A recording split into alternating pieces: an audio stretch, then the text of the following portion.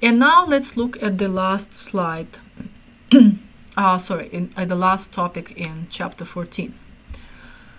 We've been talking about um, a firm that raises money and it costs the firm some percentage of that money every year. So that's what we call the cost of equity, call cost of preferred stock, cost of debt, which combined were called weighted average cost of capital. What we've been ignoring so far is that it costs money to raise money. So when a firm um, sells shares of stock or sh sells bonds, it's not free to the firm. The cost of issuing new equity um, and new debt is called flotation costs. How should we adjust? Uh, so should we adjust the weighted average cost of capital upward to reflect, reflect these additional costs to the firm? No, that's not the best approach because the required return on an investment depends on the risk of the investment, not the source of the funds, not how much it costs. Instead, where we're going to be making the adjustment to the flotation costs is the initial investment into the project. We are going to adjust the initial cost of the project upwards. As a result, because the initial investment will be higher, the project's net present value will go down. Let's look at the following example. We want to invest $50 million funded by selling new shares of stock. Flotation costs associated with selling these new stock shares will equal 10%. What will be the true cost of our investment into this uh, new project? Solution.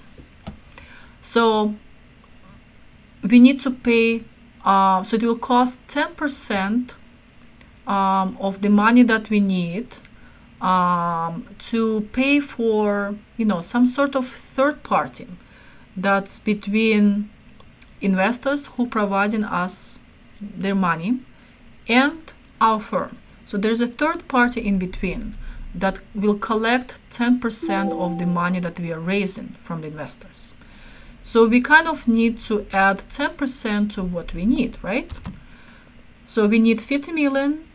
We add 10% of 50 million, which is 5 million, and that would give us 55 million. Unfortunately, while the idea is correct, the calculations are wrong. Because think about like going backwards. We raise $55 million worth of uh, money by selling additional shares of stock, right? And flotation cost of 10% means that 10% of 55 million need uh, will be gone, uh, paid to this third party that's helping us go through this issuing process. What's 10% of 55 million? It's 5.5 million. If you subtract 5.5 million from 55 million, we will be left with 49.5 million. But that's not enough for the project. We need 50 million. So 55 million worth of new stock shares is not enough. What is enough? How do we do the calculations correctly? The correct calculations are to follow this sort of backward approach that I now use to show how uh, what we did was wrong. So we sell, you know, some million dollars worth of sh new shares of stock. 10% of that will be gone. So we multiply that uh, dollar amount by 1 minus 0.1 um, and that should equal exactly exactly 50 million dollars that we need for our project. Let's rearrange it to solve for the unknown. The unknown dollar amount that we need to raise from stock share issues should equal $50 million that we actually need for our project divided by 1 minus the flotation cost of 0.1 in decimals.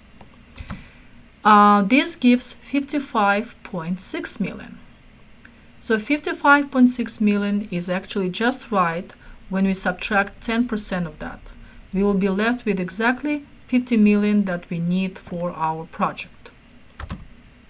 To summarize, to calculate the amount that needs to be raised, um, we take the initial investment that's required for our project and divide it by 1 minus the flotation costs, where flotation costs are either in percent or in decimals. So there, this is not a dollar amount, this is actually a percentage. what if we want to raise money from two or maybe uh, three different sources? So maybe stocks and bonds, or stocks, uh, common stocks, and preferred stocks, and bonds. Um, and the flotation cost on the two may be very different. Typically, the flotation cost for stocks is higher than the flotation cost for bonds. It's a lot more complicated process to sell new shares of stock rather than to sell new bonds. This is something which is actually covered in um, the textbook, but the chapter on that um, is not part of this course coverage. To figure out the overall flotation cost uh, that sort of covers several different sources of financing, of raising funds. Uh, we need to calculate the so-called weighted average flotation cost, which, which we denote by F, lowercase f, and subscript capital A. So A basically stands for assets. So FA equals the weight of equity, just like before, where we take the market value of equity and divide by the market value of the firm overall, multiplied by equity's flotation cost, F subscript capital E. Then we add the same thing for preferred stock, weight of preferred stock uh, times flotation cost for preferred stock.